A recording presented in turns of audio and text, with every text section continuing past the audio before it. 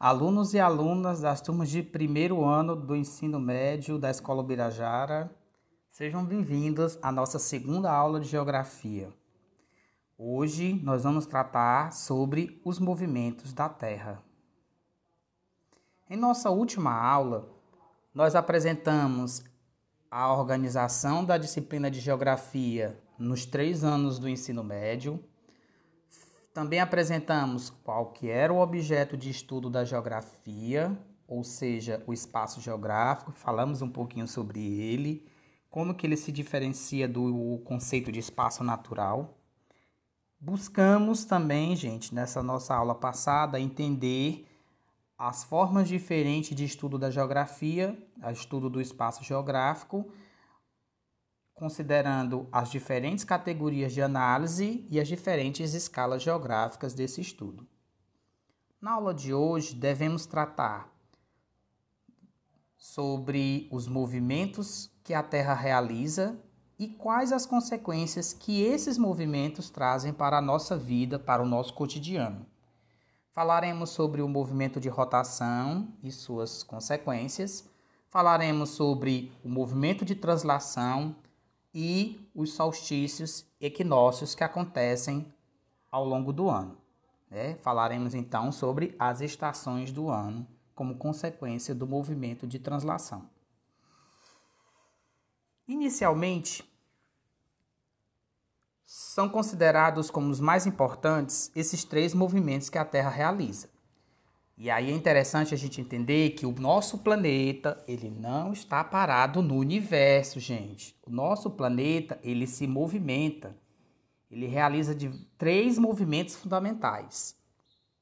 Um desses movimentos, o movimento de rotação, ele acontece em torno do próprio eixo do planeta Terra.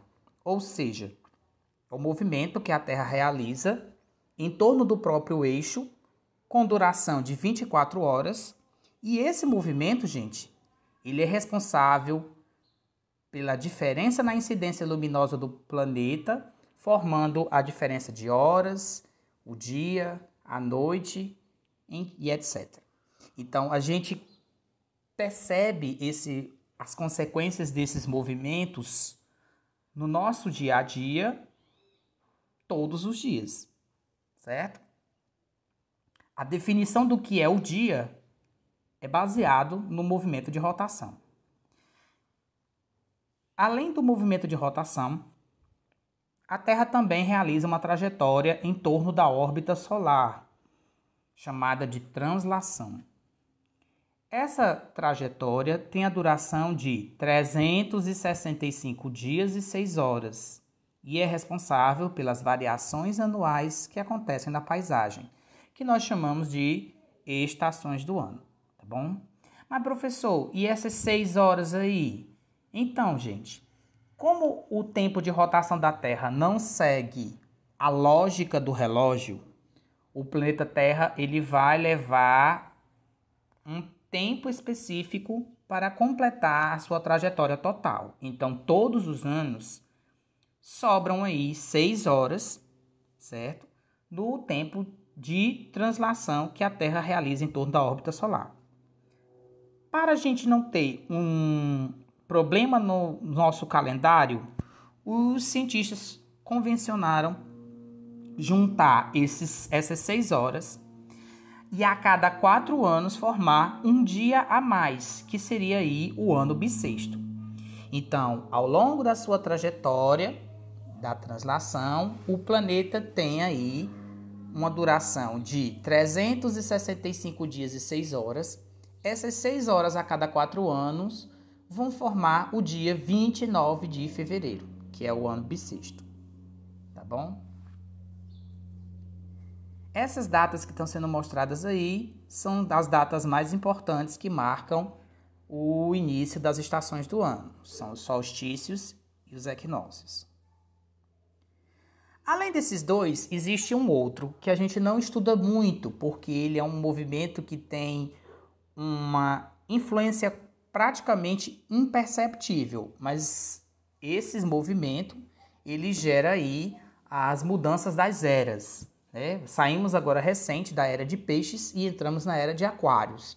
Esse estudo, gente, é, é, é, da precessão, precessão dos equinócios, ele vai ter uma pequena influência na vida de nós, seres humanos.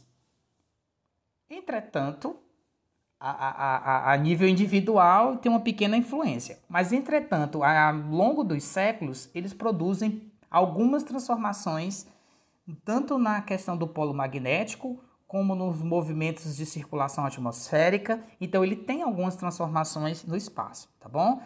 Contudo, devido à escala dele ser muito longa, né, é um movimento que gera aí 25.770 anos para dar uma volta completa na sua elíptica, elíptica né, do planeta. Então, ele não é muito estudado. Mas esse movimento, gente, ele é mais ou menos o que está acontecendo com esse peão. Enquanto o planeta Terra realiza o um movimento de rotação, que é o movimento que ele gira em torno do próprio eixo, ele faz esse balanço. Vocês estão vendo, ó, que o pêndulo vai para um lado e vai para o outro. Então esse é o movimento da precessão, que muda a inclinação do raio solar, do, perdão, a inclinação do eixo do planeta Terra, da elíptica terrestre.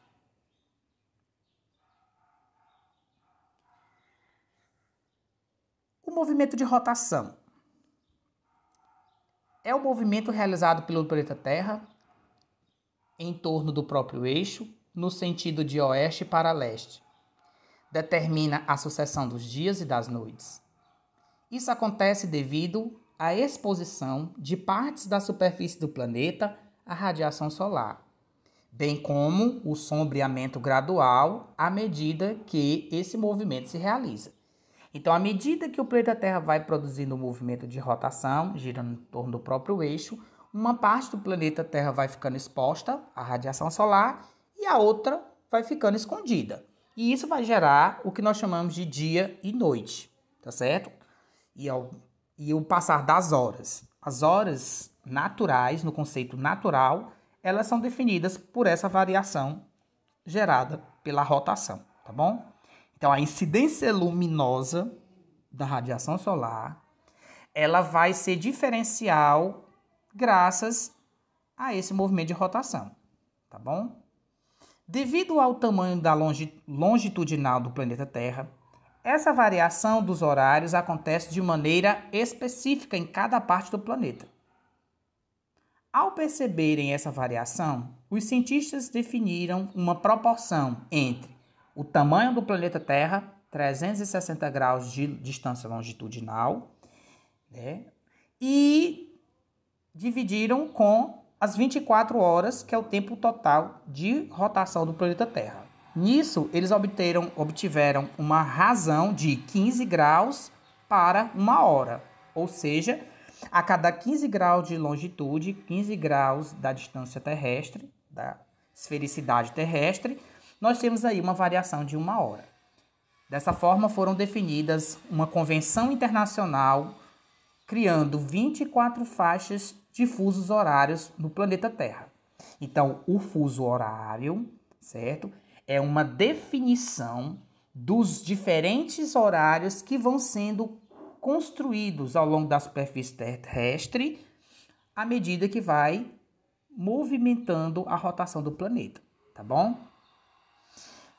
As linhas que vocês estão percebendo aí das 24 faixas de fusos horários presentes no mapa vocês vão perceber que elas não são linhas totalmente retas. Isso acontece porque foram feitos alguns ajustes práticos para definir os horários dos lugares. Esses ajustes práticos, eles tentam é, diminuir os problemas gerados com as diferenças de horários em determinadas regiões. Por exemplo, já imaginou se essa linha passa bem no meio da cidade de Fortaleza? Um bairro tem um horário diferente do outro?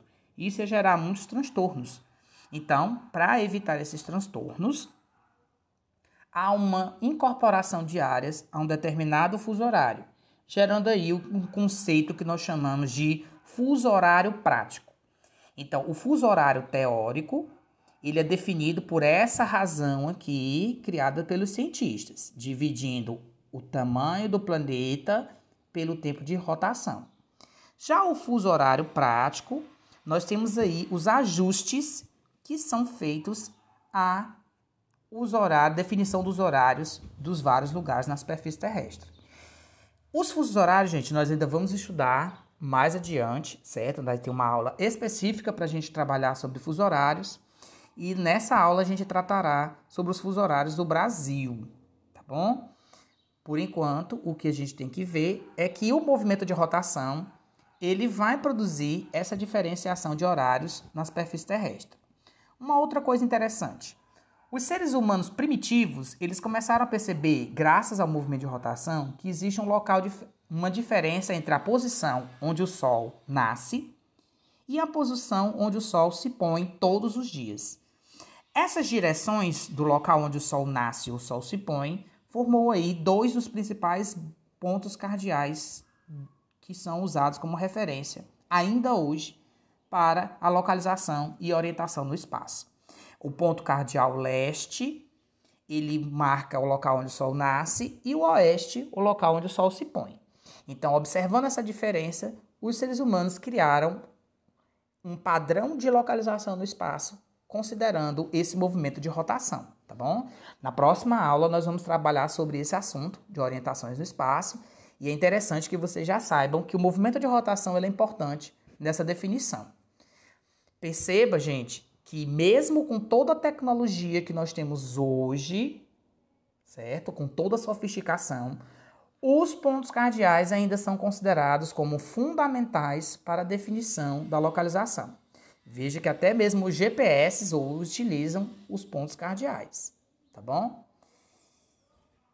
E o movimento de translação que a Terra realiza em torno do, da órbita solar?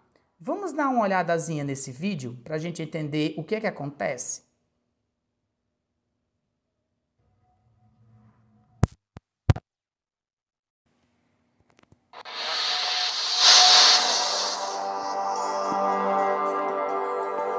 Você já parou para pensar que ao longo do tempo a humanidade percebeu variações climáticas que se repetiam como um ciclo? Eles logo notaram que esse ciclo de variações poderia ser uma importante ferramenta de marcação do tempo, dando origem aos calendários, com seus 365 dias por ano. E é neste intervalo de tempo que temos as famosas estações do ano: outono, inverno, primavera e verão. Mas você já se perguntou por que isso acontece? Qual é a relação astronômica entre o Sol e a Terra que gera esse fenômeno? Ou ainda, por que as estações do ano são divididas entre solstícios e equinócios? Afinal, o que são solstícios e equinócios? A Terra percorre um caminho ao redor do Sol ao longo do ano, o qual chamamos de translação ou revolução. Além disso, o eixo de rotação da Terra é inclinado com relação ao plano que contém esse caminho. A combinação desses dois fatores, translação mais inclinação do eixo, nos permite ter todos os anos o fenômeno das estações. Na realidade, as datas do início de cada estação do ano correspondem a quatro pontos específicos na trajetória percorrida pela Terra ao longo de um ano em volta do Sol. Daqui da Terra, a mudança das estações pode ser observada ao acompanharmos as posições do Sol no horizonte. Imagine que você esteja olhando para o horizonte e observando o belíssimo pôr do sol. No caso, você está olhando para o horizonte oeste. E então você, nessa data, observa o sol se pondo, mas no dia seguinte você também vai observar, na semana seguinte, no, no mês seguinte, e você vai perceber que o Sol não está mais se pondo no mesmo ponto do horizonte que você observou pela primeira vez. Isso significa que o Sol não se põe e também não nasce em todos os dias do ano no mesmo ponto do horizonte. Então, se você acompanhar ao longo de um ano inteiro o nascer do Sol e o pôr do Sol, você perceberá que em apenas dois dias do ano é que o Sol vai nascer exatamente no ponto cardial leste e se pôr exatamente no ponto cardial oeste. São os dias dos equinócios. ou seja, a entrada da primavera e do outono. Nas datas do, dos equinócios, os raios luminosos que vêm do Sol, eles iluminam metade da Terra, de modo que a linha que divide a sombra da claridade, ou seja, a noite do dia, passa exatamente entre os polos norte e sul. E os raios solares que incidem agora na linha do Equador são raios solares perpendiculares a, a essa superfície. Então, o que nós temos aqui é exatamente a duração do dia igual à duração da noite.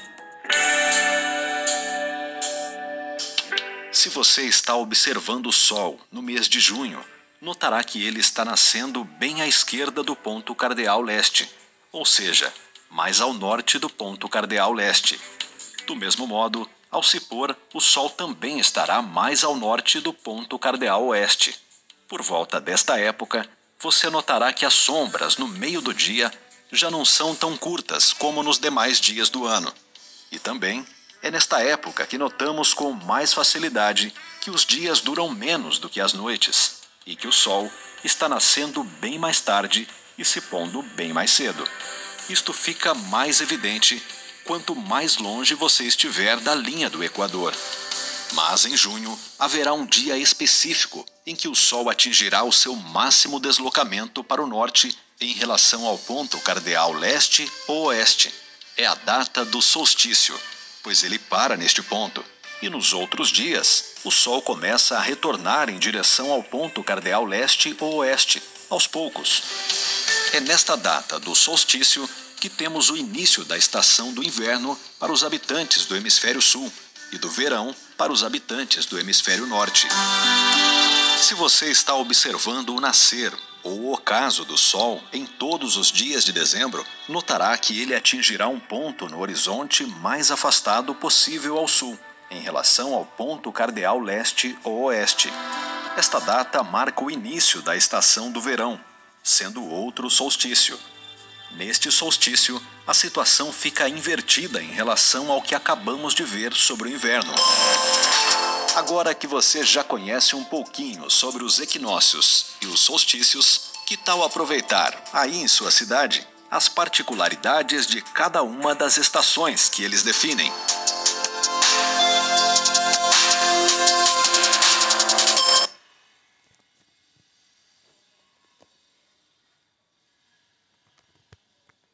Então, gente, esse vídeo ele é muito interessante porque ele mostra para gente que a principal consequência do movimento de translação são as estações do ano, certo? E o conceito de estações do ano que a gente conhece, né, que a gente estudou desde a nossa infância, ele é um pouco diferente do que o rapaz acabou de explicar no vídeo. Essa imagem, ela demonstra o conceito de estações do ano que vocês estudaram no ensino fundamental 1, que as estações do ano são associadas a essas características. Contudo, o rapaz apresenta que o que vai definir o que é o inverno, verão, outono e primavera não são essas características que aparecem nos desenhos, porque cada região do planeta vai ter uma particularidade, ou seja, ela vai apresentar características que são específicas. Então, podemos concluir a partir da observação desse vídeo que o solstício marca uh, o início do período do ano onde há maior variação de iluminação entre os dois hemisférios, ou seja, a duração do dia e da noite que vai ser diferenciada pois o Sol está alinhado não com o Equador, mas sim com os trópicos. Então, quanto mais longe do Equador, maior vai ser essa variação da duração do dia e da noite no período que marca os solstícios. Lembrando também que vai ser sempre o oposto. Quando for inverno no hemisfério norte, necessariamente será verão no hemisfério sul. Quando for primavera no hemisfério norte, necessariamente será outono no hemisfério sul, tá bom? Então sempre haverá o oposto das estações do ano em cada um dos hemisférios. O equinócio é a época do ano que marca o início do período onde há pouca ou nenhuma variação de iluminação entre os dois hemisférios. Ou seja, o dia tem a mesma duração que a noite. Ambos têm 12 horas. Pois o Sol alinha-se com o Equador. Então perceba que existem momentos do ano onde o dia é mais longo, existe momento do ano onde a noite é mais longa e existem momentos no ano onde o dia tem a mesma duração que a noite. Isso é a definição das estações do ano, não aquele desenhozinho que a gente viu na página anterior, tá bom? Assim, o verão é o período do ano em que o dia é mais longo. Se o dia é mais longo, tem mais exposição à radiação solar, logo é mais, aquece mais. Então são períodos mais quentes. Então ele é mais quente, gente, porque ele está mais tempo exposto à radiação solar. Mas vamos lá, nós moramos aqui no Ceará. Tem algum é, um dia no ano que não é quente? Não, todos os dias são quentes. Então eu dizer que é o período quente, então aqui ia ser verão o ano todo, certo?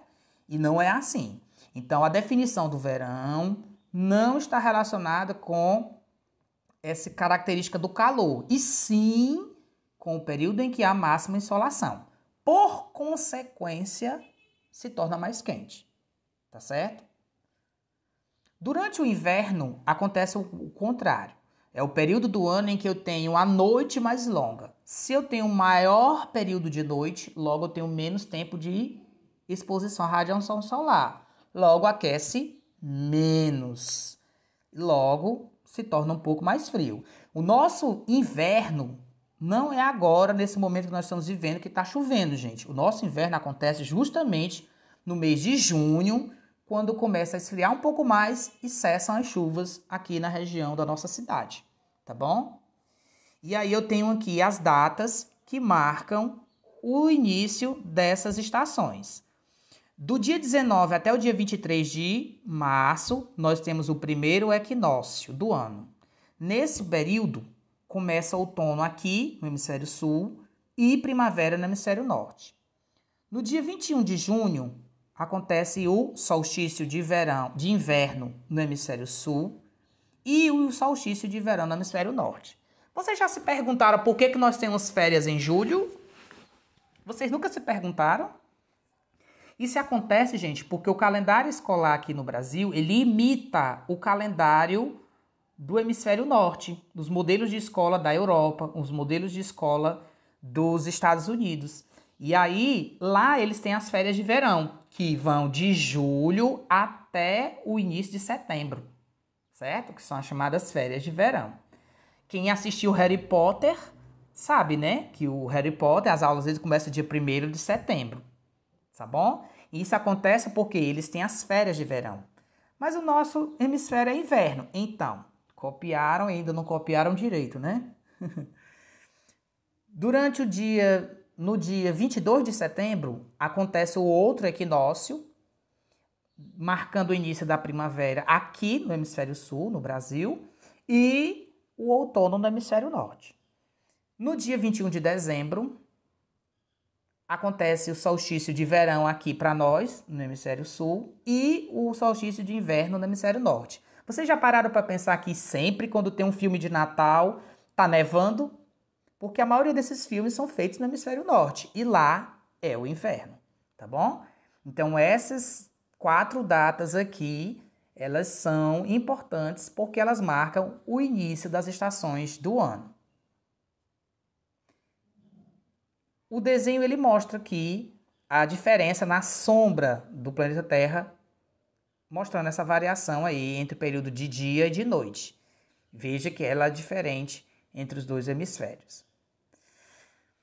Essa variação ela é tão grande à medida que a gente vai se deslocando para os polos que no Polo Norte e no Polo Sul nós temos praticamente um único dia durante o ano. Por quê? Porque quando o Sol nasce lá, ele permanece na linha do horizonte por muito tempo. É praticamente nós temos seis meses dia e seis meses noite lá. Essa GIF, ela está mostrando que lá no hemisfério, nos polos, o Sol não se desloca como aqui a gente vê aqui no, no, nas regiões próximas ao Equador. Lá o Sol se desloca horizontalmente. Ele vai seguindo a linha do horizonte. Ele não vai até a abóbada celeste e depois desce. Ele segue a linha do horizonte, tá bom? E essa característica ela é marcada fundamentalmente devido a essa condição da inclinação que o planeta Terra tem no seu eixo, tá bom? Veja aí então que os polos eles estão ou totalmente expostos ou totalmente escondidos da radiação solar nos períodos de inverno e verão. E isso vai fazer com que seja sempre dia ou sempre noite durante essas estações em um dos dois polos. Isso marca também, gente, a questão da inclinação que a radiação solar vai atingir cada um desses lugares do planeta. Na nossa próxima aula, nós vamos estudar os sistemas de orientação e localização no espaço.